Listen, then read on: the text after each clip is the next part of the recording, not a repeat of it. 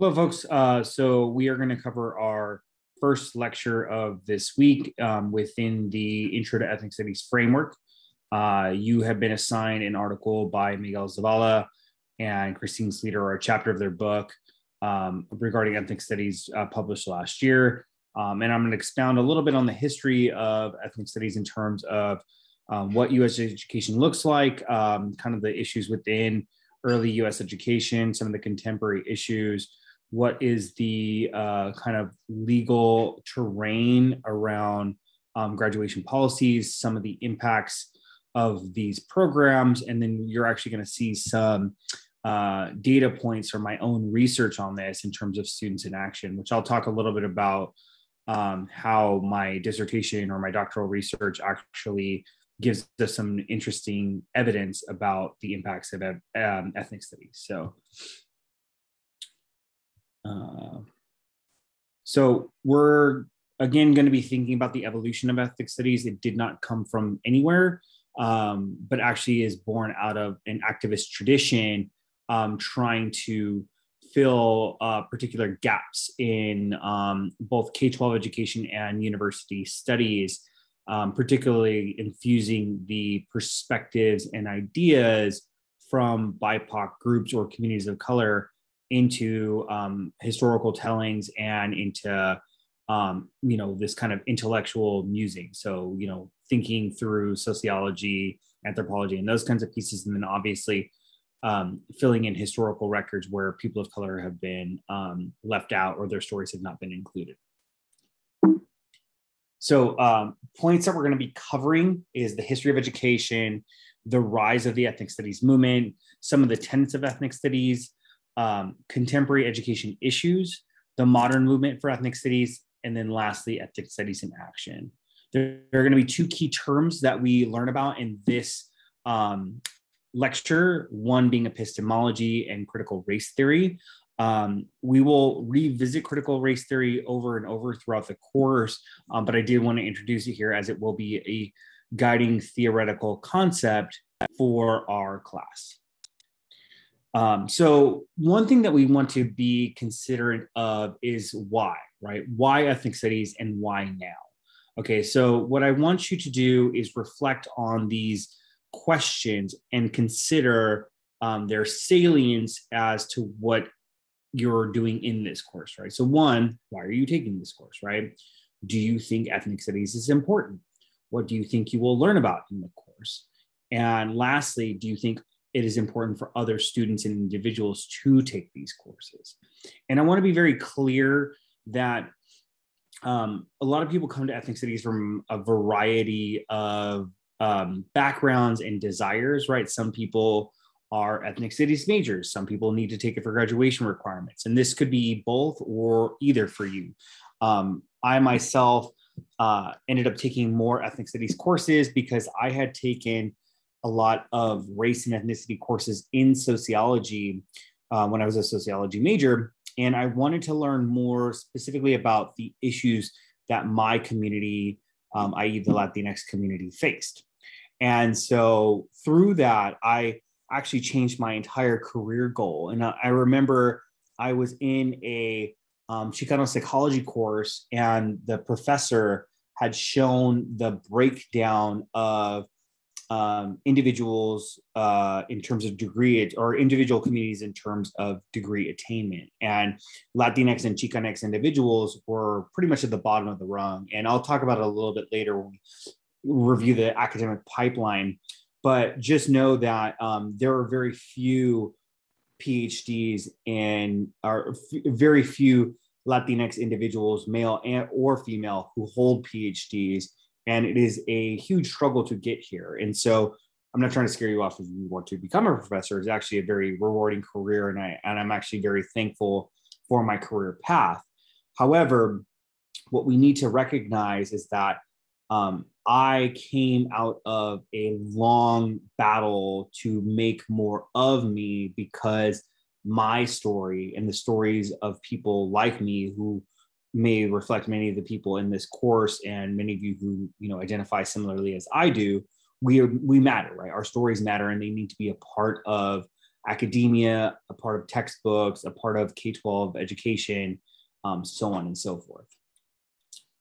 So, first, we want to think about the historical context of education, and it's not a very good one.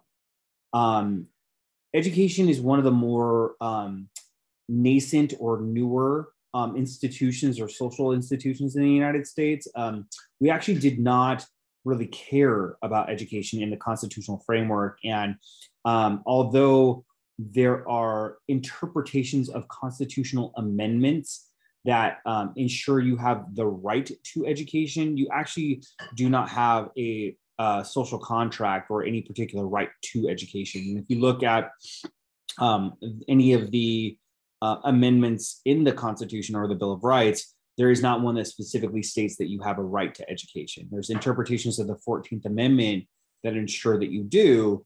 Um, however, there's not a constitutional mandate that says that you should have access to education or equitable education. Um, with that, um, that created a very um, stark contrast in terms of what education some folks had and what education other folks had. And namely, that um, white individuals in the United States, up until today, which we'll talk a little bit about um, later on in this lecture, but white folks um, previously always had access to better schools, right?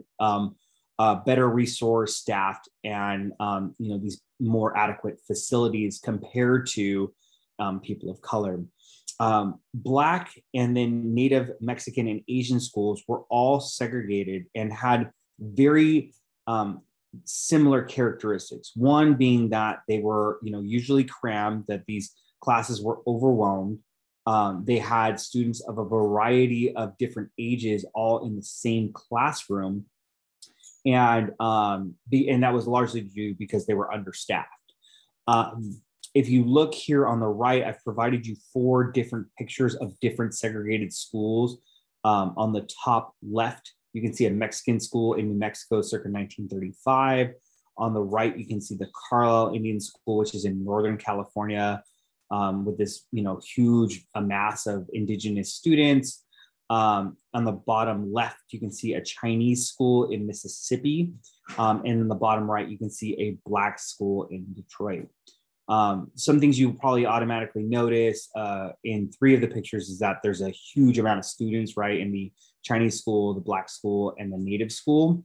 Um, indigenous boarding schools, if you're familiar, have um, garnered a lot of attention because of issues in Canada.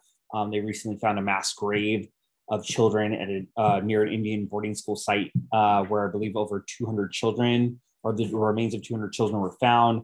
Um, there were several indigenous schools here in the US. Um, they haven't done that kind of archaeological digging to see if there are similar um, cases of um, unidentified or of child death. However, it would probably be very likely. Um, obviously, with the Mexican school alongside some of the other schools, they're very dilapidated, right? Um, the school in the bottom right, there's one teacher for you know what seems like two dozen black children a variety of ages, um, so on and so forth.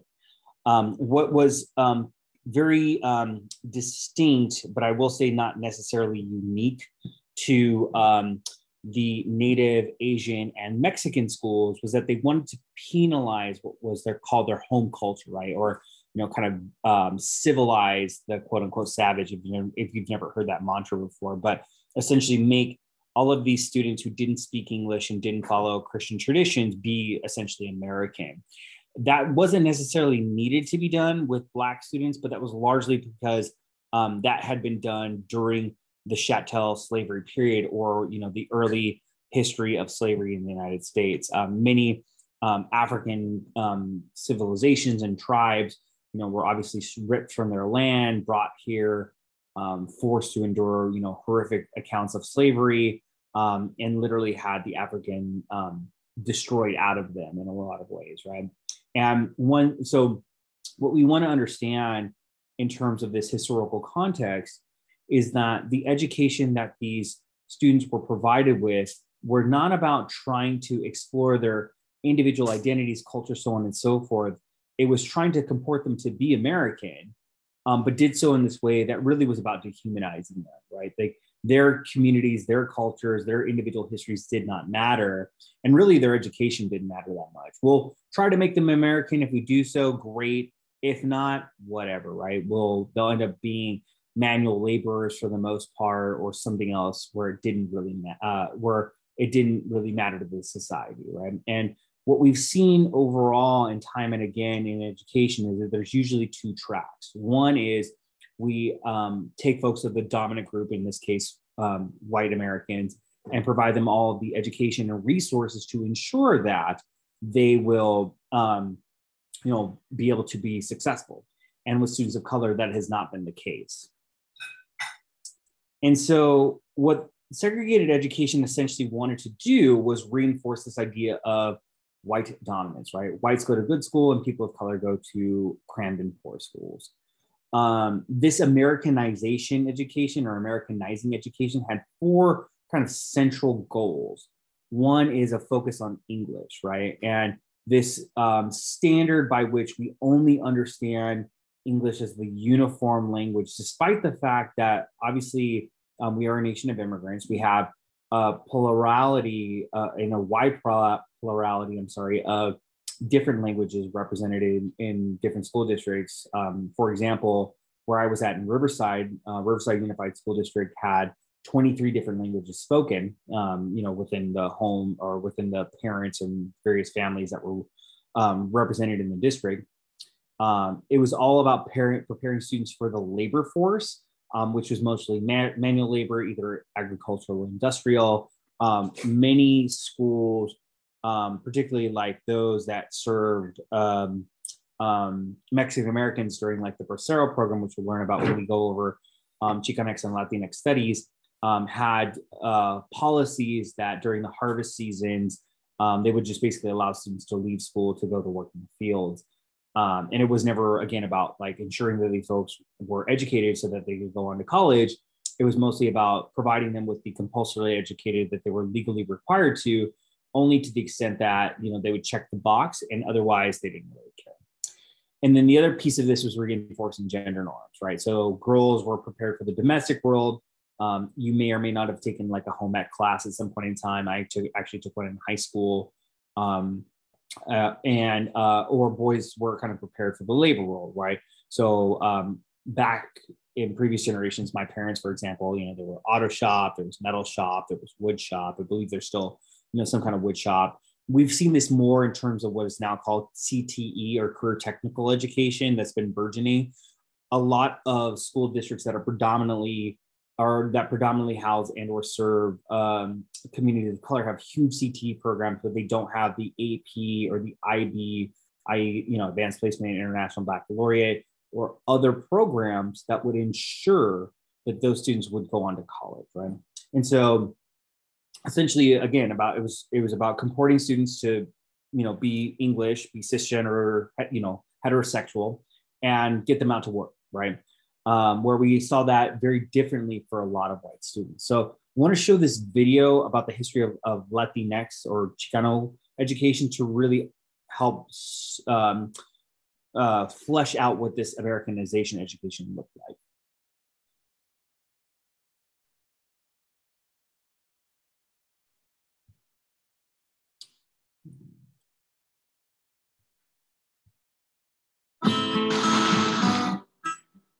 Since the 1930s, Mexican American students have had to face an education system that wanted to Americanize them, segregate them, and prepare them for vocational jobs. Mexican American students were placed in vocational or industrial arts rather than college preparatory courses because they were not expected to continue on to higher education. Students were set low expectations before even given the opportunity to show their capabilities. Some even claimed they were unintelligent and unmotivated and did not encourage dropouts to return to school. Instead, they encouraged skilled labor. Segregation in schools strongly contributed to the educational inequity. Despite this, Los Angeles school officials were not concerned with the noted segregation because, according to school officials, this was a community problem, which they were not responsible for. In 1947, the Mendez family organized to fight education segregation the case Mendez versus Westminster was a first step to a political protest against the inequities in the education system in California. The case banned separate and unequal schools. In the 1950s, a small Amer- Mexican American middle class community began organizing to discuss education reform in East Los Angeles. However, despite their effort, little change occurred. But in the 1960s, a growing concern over Mexican American high school dropouts began to be exposed and re- recognized. In 1960, the average dropout rate for 36 high schools in Los Angeles was 11%, while for the six minority schools, it ranged from twice to three times as many. In the early 1960s, Ruben Salazar, a prominent Los Angeles Times journalist, followed the Chicano community and educational crisis. In his article, Civic Leaders Troubled by School Dropouts, Salazar explains that Mexican Americans have the highest dropout rate out of any other group in Los Angeles. He gives us the story of Pablo, a high school dropout who says he quit school so he could work, but the reasons were more complicated. Pablo says, What has algebra got to do with me? To me, algebra always seemed to belong to the gringo world. To Pablo, the curriculum was irrelevant because it belonged to the gringo world, which he could not connect with. Pablo could not see his reflection in that algebra book. Instead, he saw a world that he did not belong to, which pushed him to leave school. Salazar explains that school administrators confirm that the so called dropouts are either encouraged or invited to leave school. These are not dropouts, they are kickouts. Without a doubt, Pablo was pushed out of school.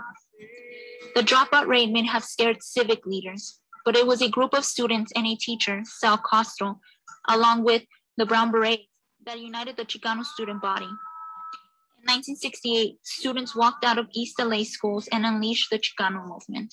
Students pitched 36 demands to the Los Angeles Board of Education.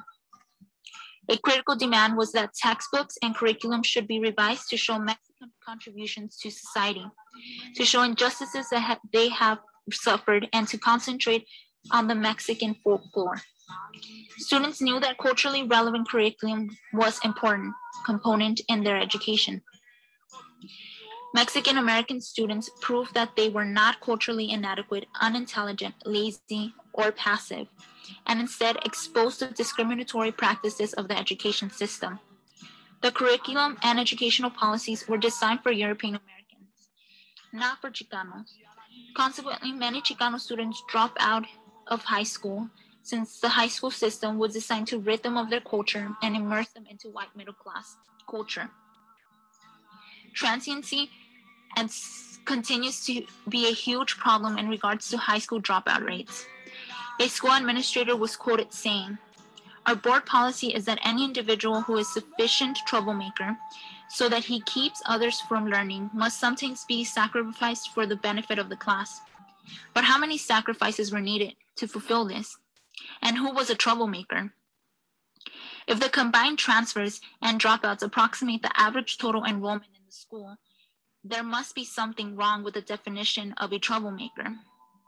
Students are deemed troublemakers and either removed from the classroom or removed from the school. These are not dropouts, they are kickouts. They are pushed out of school. Teachers and school officials find themselves blaming the Mexican American community in order to justify the high dropout rate. However, the community cannot be blamed for the inadequacy of the education system. Mexican American culture has been defined as deficient and as not providing the skills to succeed in school. Instead of looking closely at the school system for its damaging effects on Mexican Americans, the damaging culture theory is used to explain Mexican American failure in schools, such as the dropout rate.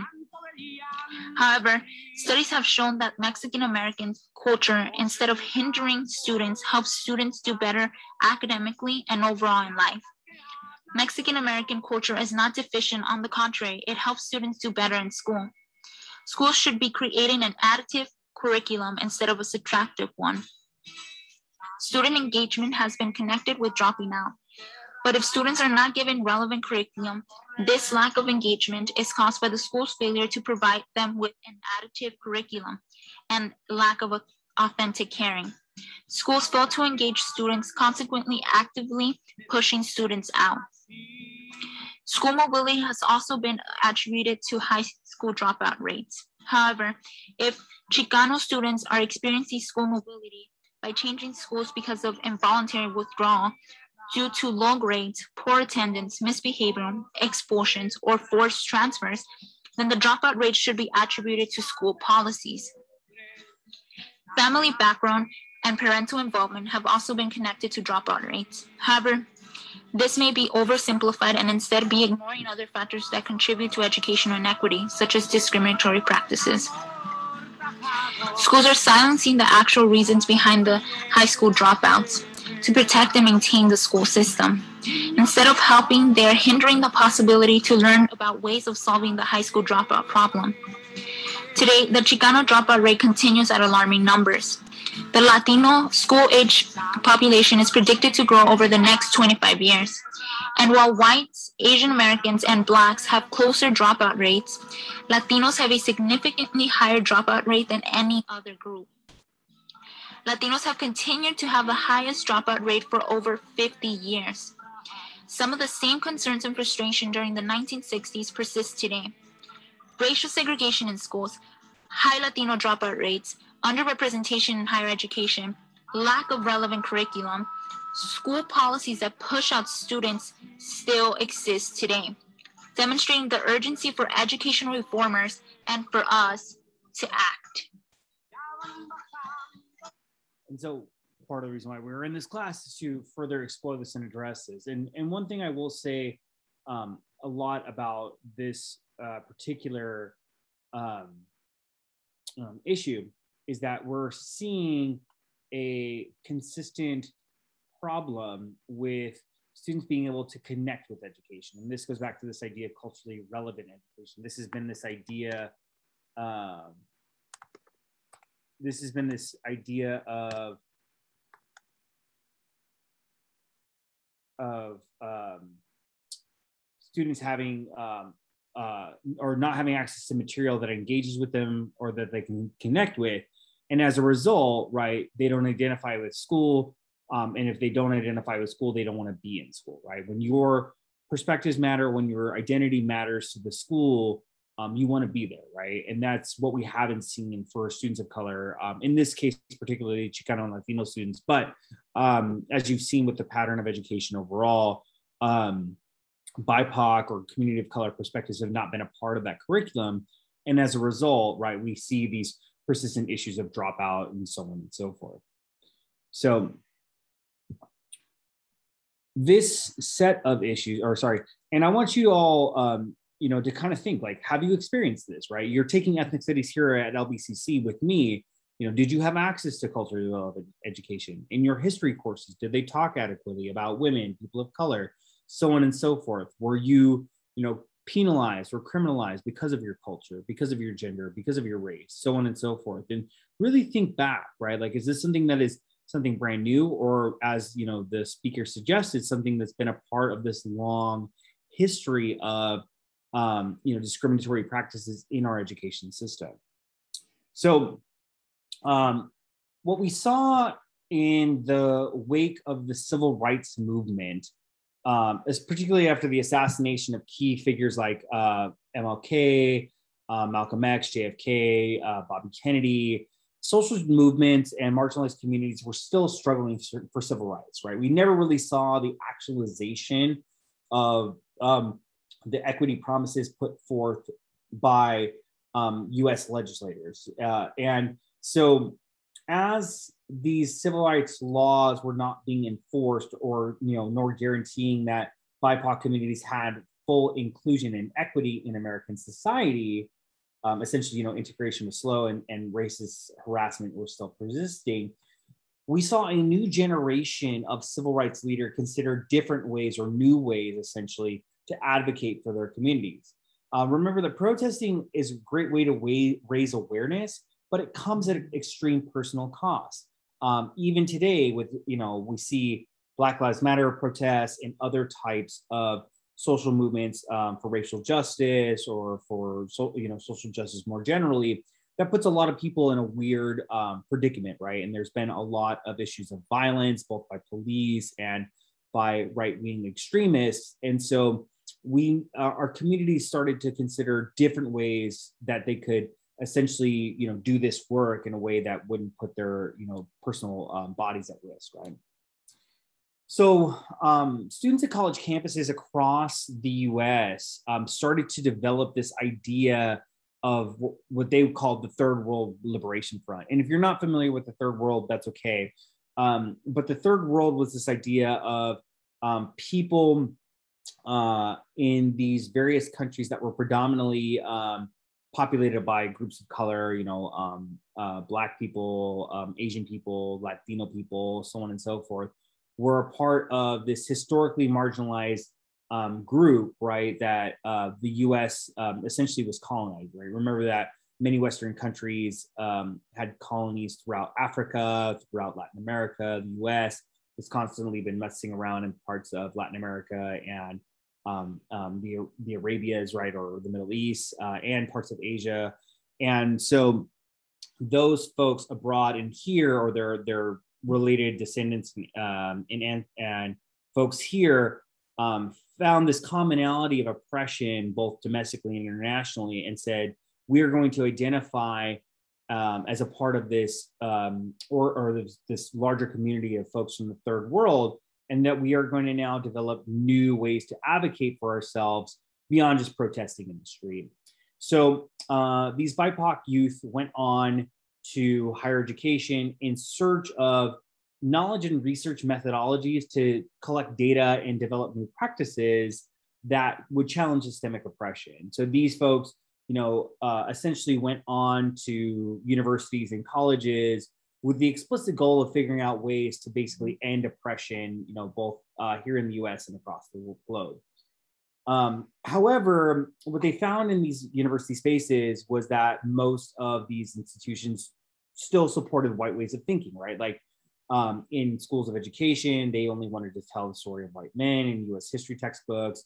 Um, there was always a privileging of the old dead white men in English in terms of you know what was considered to be you know high literature or high art the sciences never really took into account indigenous perspectives both from the americas africa so on and so forth. And so essentially these students continued their protests on campus and said you know we need to have these new departments this third world studies department or this ethnic studies department out there so that way we could have a space to create these new intellectual perspectives that were going to challenge the existing racist norms and ideas in our society um, and then obviously you know develop these ways of um, of seeking liberation you know? And so again they came together developed this idea of the third world liberation front uh, demanded ethnic studies teaching and research departments at schools and universities that could help these bipoc communities throughout the world. And so um, third world liberation and these kind of new tenets of ethnic studies emerged, um, we got to develop this idea of new epistemologies. And that's going to be one of our key terms if you harken back to the, the layout of the course or the, the guiding framework of the course. So, epistemology is this theory of knowledge, um, especially with regard to methods, validity, and scope. Um, what epistemology helps us do is really investigate what distinguishes a justified uh, belief from opinion.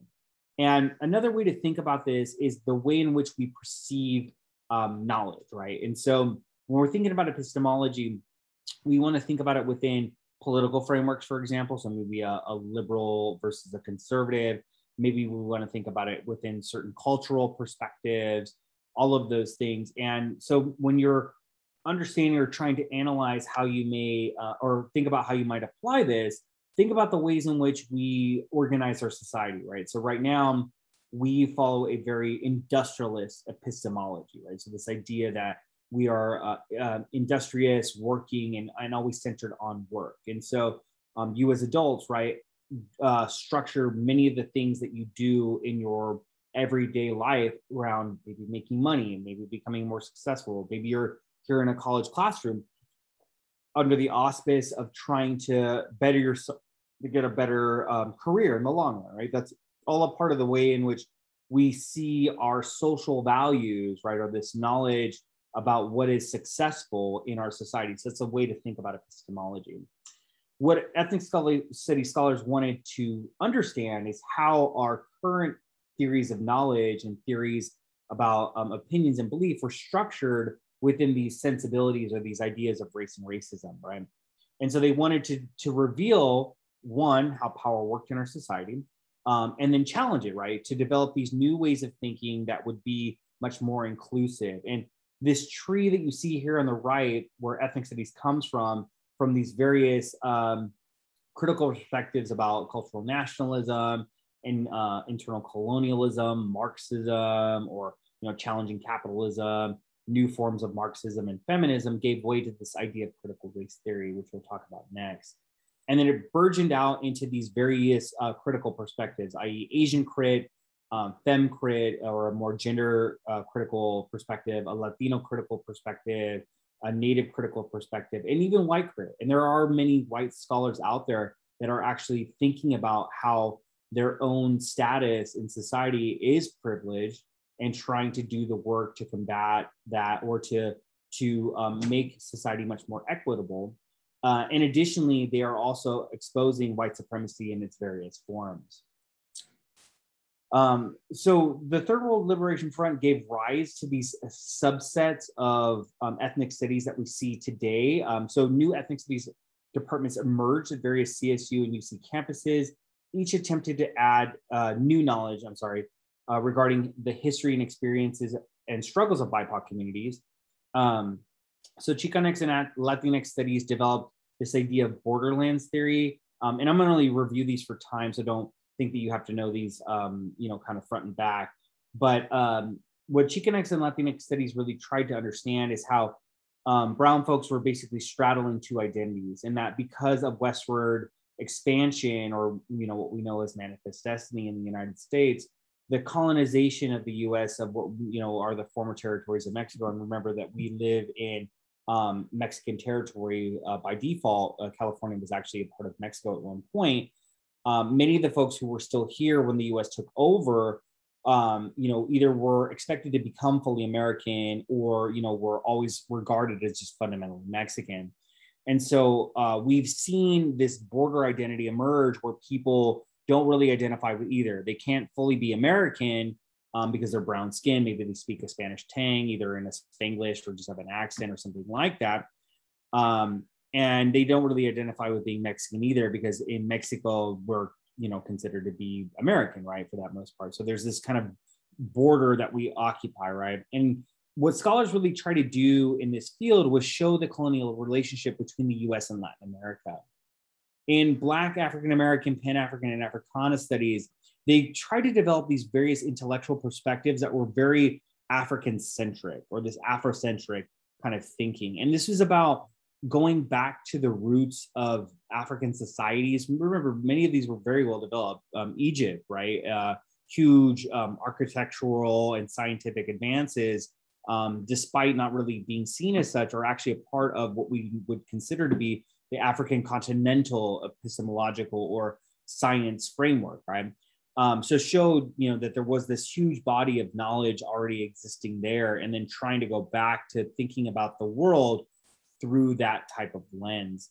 And really, what these folks tried to do was just flush out how much of society was centered around um, anti-blackness, right? And this idea of just um, whether it be um, economics, criminal justice, politics, whatever it looks like, all of that being about um, our um, our uh, our kind of anti-ness towards um, Black folks or African Americans.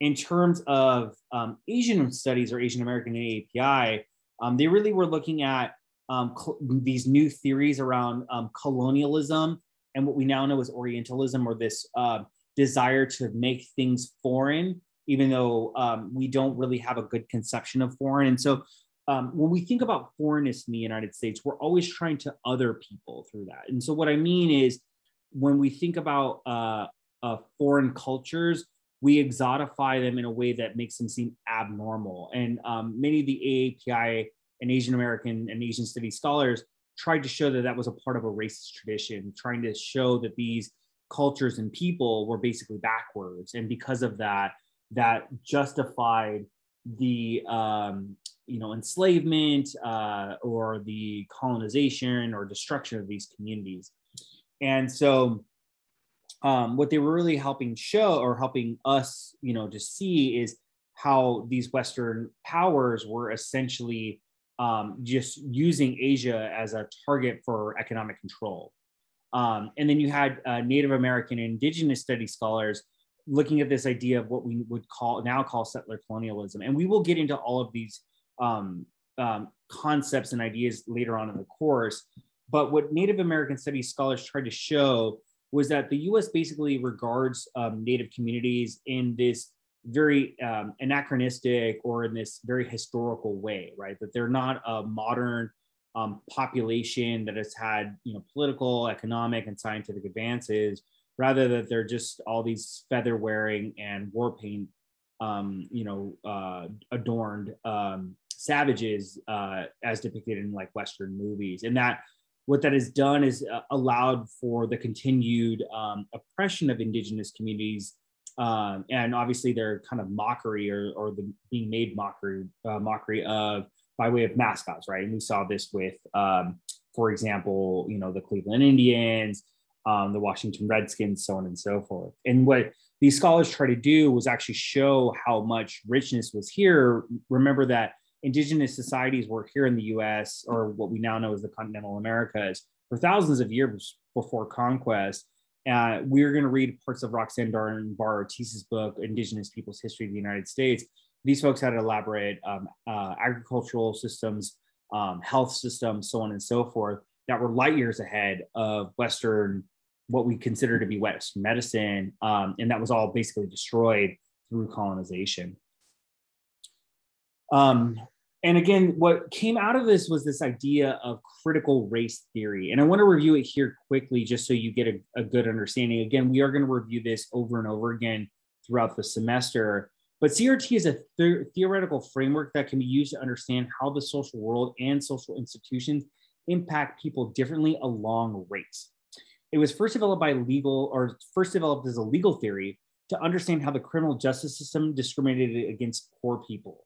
Um, and this was called critical legal studies. And so what they realized was that in the law or in the criminal justice system, essentially, uh, rich people had the opportunity to hire lawyers, and you know came from these particular backgrounds that weren't seen as deviant and therefore were not getting as harsh a sentence as poor people uh, poor people were you know by and large just rounded up and, and incarcerated because they weren't able to uh, either pay bail or pay for attorneys or anything like that that would ensure their freedom but um, there were various scholars, um, namely Richard Delgado, Jean Stefancic, and uh, Kimberly Crenshaw, that argued that BIPOC communities actually face higher levels of discrimination because of their race as non-white.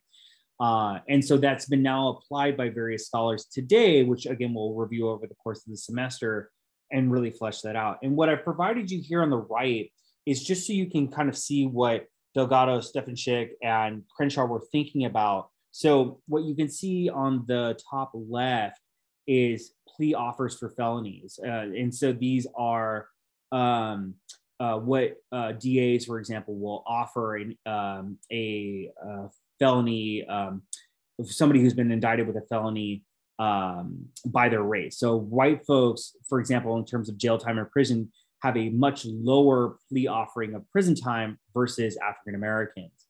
Um, here we can see distribution of prison sentences. Um, convicted whites get much less time, zero to one to 25, where you can see um, African Americans make up much more of these longer term prison sentences. Here are racial uh, disparities in terms of marijuana possession arrests, right? In the 25 most populous states. Again, African Americans having higher rates, right? And so as they saw this, right, they realized that race actually was much more instrumental. And so, what that urged us to do as a scholarly field or a scholarly community was to then think about these other social institutions and understand how race was actually happening or why these um, institutions were um, uh, having these disproportionate effects or discriminating against people of color.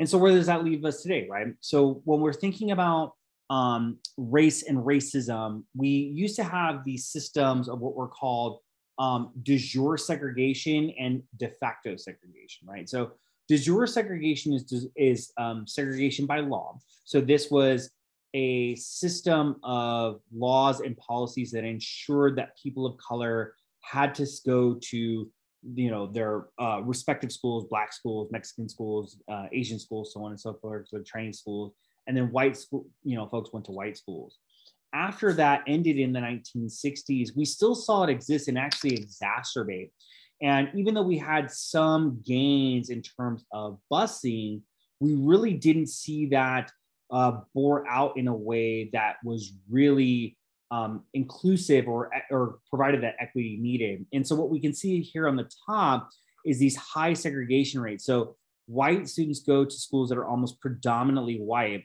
African Americans are going to schools that are mostly uh, students of color, right? So African American, Asian, and then um, Latino, and then Latino respectively the same, right? Where basically if you think about students going, uh, students of color going to particular schools, they're going to schools that are 75%, I'm sorry, um, students of color um, and, uh, uh, you know, 25% white. And this is despite the fact that they make up smaller portions of the population. So um, Hispanic and Latino stu- uh, folks in the US only make up about 25 to 30% of the US population, but they're overrepresented in these schools.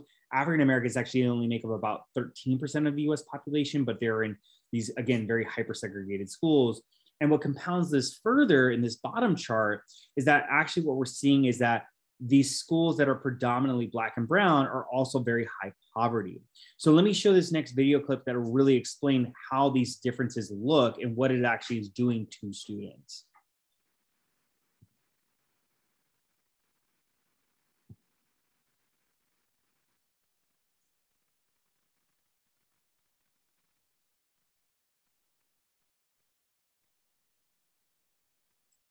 My name is Cedric Forte.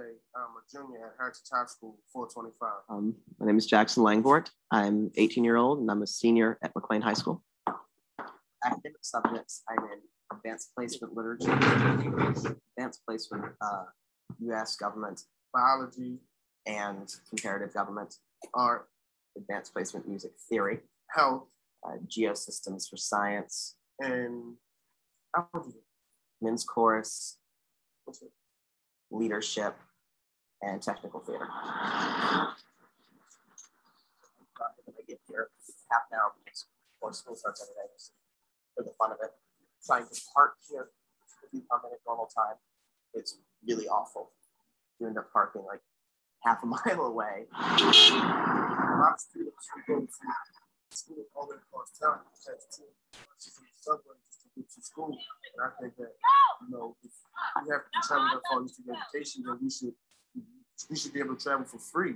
The kids here are motivated in just about everything. They're motivated to even learn, which is scary to hear for a high school kid. They're motivated to succeed in sports, extracurriculars, anything. I think they've lost the will to learn. A lot of them, they just like don't find school interesting no more because they don't have the power to do anything. And they say so in the classrooms. This is our auditorium theater. Uh, we have lights, standard light sound. It's not particularly high tech, but it's it we have a nice system. Yeah, go to metal detector. Like they use this to try to, you know, keep school safe, but obviously it doesn't work because like even when someone walks through and it beeps, like they don't even search them or anything. They just say, okay, walk back through, empty your pockets. That's all they do. And that was like This is our new studio. It's one of three high schools in the county who has it. Hey, orchestra, can you start playing?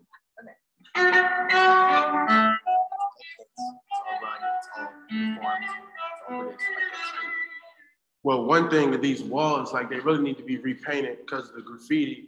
As you can see here, they tried to repaint it, but it doesn't blend in. You can actually tell where they just like really just gave up on repainting the walls. So every teacher in this school buys their own school supplies. And it's actually very sad because like the school system should have money to, you know, provide for those school supplies for students, but they don't. And the teachers have to come out of their paychecks just to, you know, be able to support their students. Um, that's our observatory. It's just it's a giant dome with a telescope, and you can see the entire sky from there. If every school in the country can be like McLean, I think it's really going to increase standard of living. Uh, it's going to make things a lot better. Obviously, it's not fair. We have not even half of what they have. I mean, we're all students. Why shouldn't we see what they have? I mean, we're all trying to learn. We're all we all want to go be something. So why shouldn't we see the same advantages they have? I don't understand. And that's the question that we face, right? Is why are we here and why is this still happening, right? And so I think what's very emblematic of this particular um, video is that there is, you know, still this very stark difference in that what we can see from the um, African American young man here is that students of color are very disillusioned with their learning environment, right? And that, you know, obviously this more high end school with white students, they're set up for success, right? Again, following that pattern of, of segregated education. And so what we really see is, again, you know, these kind of persist- persistent issues, K 12 schools and curriculum really still adequately or fail to adequately include and discuss and represent communities of color. And they do this, although there has been, you know, some changes, I will say, and I've been working with school districts, school districts on this in terms of some consulting work that I do on the side. Um, but what we've seen is a kind of negligence or just outright dismissal of these problems. And what I've provided you here on the right is some um, important information. So one, we can see the diversity in children's books. Um, you know, people of color being very underrepresented compared to, you know, kind of animals and inanimate objects, and then white students here. The right, these charts are actually um, come from the Southern Poverty Law Center. They did an extensive study on um, incidents incidents of harassment after immediately after the Trump administration or the Trump election, I'm sorry, in 2016. And what they found is that California had one of the highest rates that were mostly happening in K 12 schools, and the types of harassment were mostly anti black and anti immigrant. And if we remember, um, despite where you fall in the political aisle, is that, you know, there was a lot of overt race talk by um, the former president and you know members of his administration and what that led to was schools actually having very high rates of um, harassment happening. I mean, there are still schools pre-pandemic that where folks were finding nooses, swastikas on campus. We've had neo-Nazi groups demonstrate there. Um, obviously, the um, Unite the Right March happened at a campus in North Carolina. And so that's been a big part of this long history of race and racism, which has been, you know, kind of urging and motivating the ethnic studies movement for the past, you know, 60 years. Um, alongside this, we've seen a major defunding in education in public schools specifically. Um, so more and more schools are losing money. That's been a, a change, you know, thankfully under the uh, Biden administration and the Newsom administration at the statewide level. Um, most urban schools have lost money where we have these high student color populations. Uh, they've been diverted to charter schools and private schools. And um, likewise, um, we've seen universities and um, colleges also lose uh, funding sources. And that's been part of the reason why your tuition is so high. I remember when I was a community college student, I believe I paid $18 a unit. Um, you know, it was a couple, like about $100 to take um, a class or so, you know, and now it's well over a couple hundred dollars to take a, a, community college course and, you know, several thousand dollars to take a university one.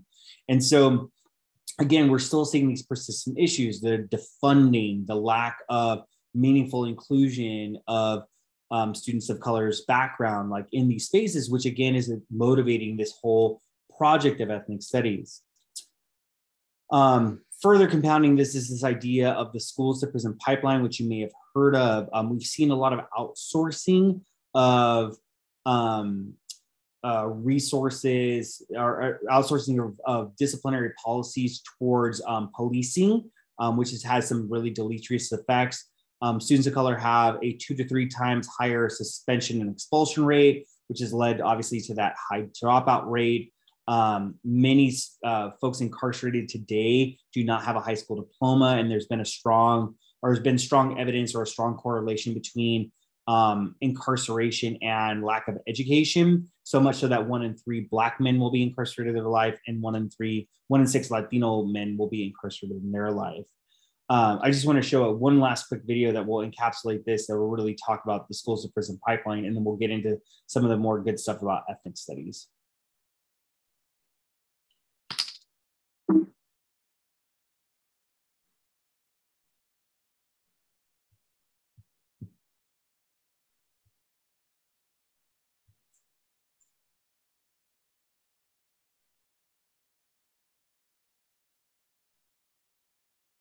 Might hear in the news sometimes the school to prison pipeline.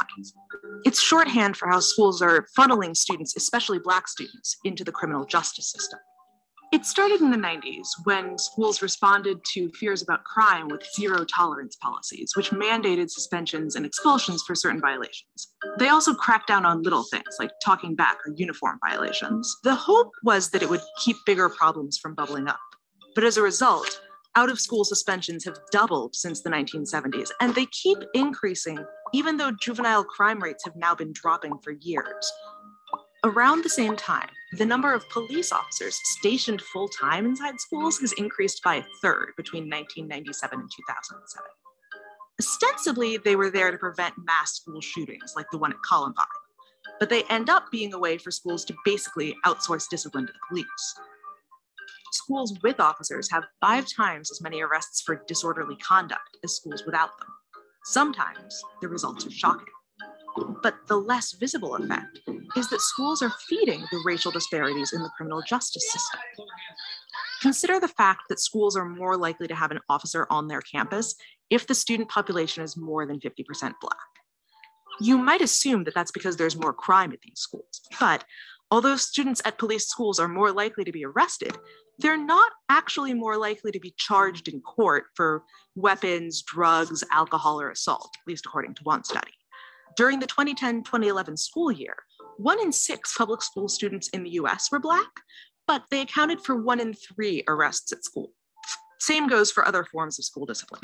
Black students are suspended or expelled three times more frequently than white students. It actually begins in preschool. 18% of preschoolers are Black. But if all preschoolers suspended more than once, 48% are Black. Studies show that differences in behavior can't fully account for these disparities. Black students and white students are sent to the principal's office at similar rates, but Black students are more likely to end up with a serious punishment. One study found that white students are more likely to be suspended for provable offenses like smoking or vandalism. Black students are more likely to be suspended for subjective offenses like talking back or insubordination. Students who are suspended in school are more likely to later drop out or get arrested. So the federal government is asking schools to make suspension and expulsion the absolute last resort.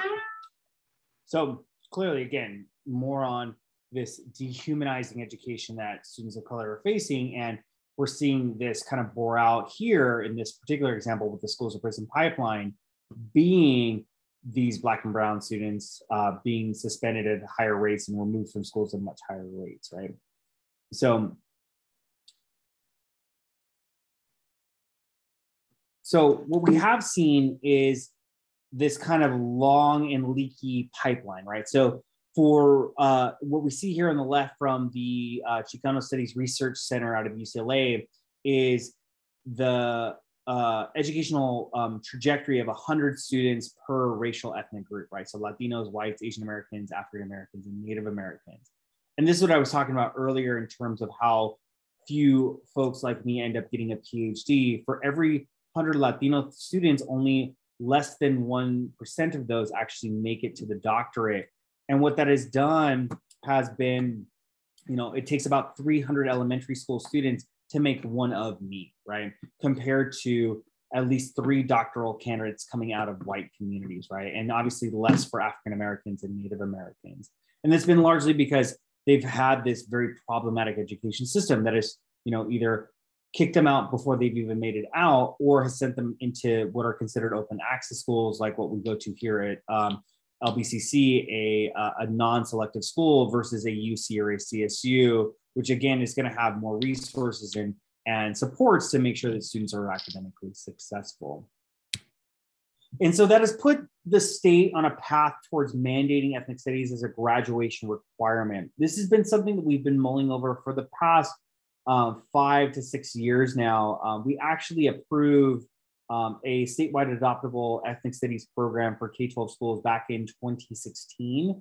And every year since then, there has been some iteration of the graduation requirement. The only one that's come close so far has been AB 1460, which again mandated ethnic studies as a graduation requirement um, for the uh, California community colleges and the California State University system. However, we still have not seen um, the K 12 graduation requirement move forward.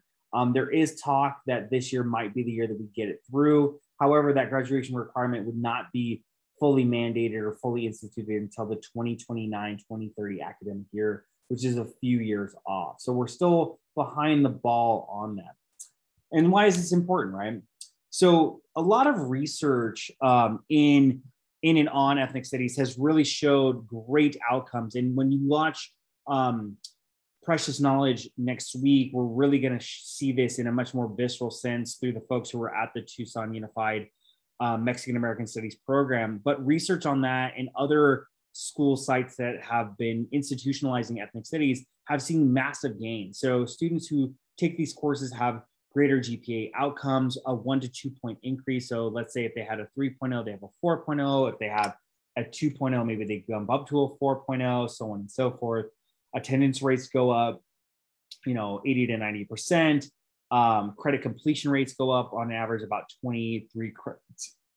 Um, student off on and off campus engagement goes up, graduation rates go up, college aspiration and matriculation. So not only the sense of wanting to go to college, but actually going to college goes up. And this has not been explored as much in the community college space, but I guesstimation if we really did a comprehensive study of ethnic studies here in our system or at LBCC is that students who take these courses are much more likely to transfer um, and actually even aspire to be ethnic studies majors once they start to take these courses. What I have seen though is ethnic studies have real impacts on students in campuses. And so this actually comes from my research. Again, I, I spent a year in an ethnic studies classroom watching students produce um, or work in this environment to really great effect. So I actually coined a new term called academic familismo uh, from folks taking these courses. And what academic familismo taught me was that these courses bring students together into these learning communities where they want to do work to celebrate and honor who they are, right, in their cultural backgrounds, but also are very invested in um, supporting their peers. And what that does is it reframes um, education from a very um, capitalistic and competitive environment to one of communality that we all want to be successful together and celebrate who we are, which we can see in this example of folks doing a Dia de los Muertos presentation where they made these little um, nichos or shoebox altars. Um, here in this World Cafe activity, which we will do some um, projects similar to this in our uh, in our uh, participation activities, um, we see students uh, create, we have very creative and very engaged responses to questions, working together side by side. Obviously, this is pre-pandemic, which is why they're not masked or socially distant. Um, but again, you know, very, very diverse uh, and very, very uh, awesome um, uh, engagement with this um, learning activity. And then, you know, last but not least, you know, we see it again here with this artisanry and engagement um, in their classes where they're really doing some awesome work there. And um, if you're ever interested in learning more about this, I'd be happy to share some of my dissertation work. But what I will really stress is that these ethnic studies students in this ethnic studies class created an, an enriching environment where these students are still, you know, um, on the path of education. Many of them have gone on to um, community college or to universities and are doing great things there, trying to, um, you know, become young academics or become professionals in their own right. So I'm going to wrap it there. So again, what we've covered today is the context for the start of the ethics studies movement. Again, thinking about that segregated education and all the issues with it, the emergence of third world, the third world liberation front and ethnic studies, new ethnic studies epistemologies, and then that kind of research focus. Remember, we saw the different subfields, what they were doing, uh, and what the kind of um, uh, aim of those, uh, you know, Asian American studies, Latin American studies, so on and so forth, we're doing. um, the current battle for ethnic studies in K-12 or in California, those laws and policies in the terrain, including also data supporting why these courses are important in terms of how they have better outcomes for students. Um, and then our key terms today, right? We learned about epistemology, this theory of knowledge production and interpretation. And lastly, critical race theory, uh, or a theoretical framework that can be used to understand the social world and social institutions and how they impact people differently along race. Again, we will um, think more about critical race theory um, over the course. So, um, you know, review these, uh, read the Miguel Zavala reading. I think it's very good. Um, this shouldn't be too much heavy lifting for you. Um, what I will say after you finish this lecture and, and going forward, thinking about other ones is watch these in chunks, you know, as it, it pertains. Um, they will be, you know, about an hour or so, but it's going to be chock full of information that's important. So, you know, take this and digest it slowly so that way you can process the material. If you have questions, always feel free to email me, set up an office hours appointment, stop by my office, let's talk some more. And I look forward to hearing your insights about what we learned today.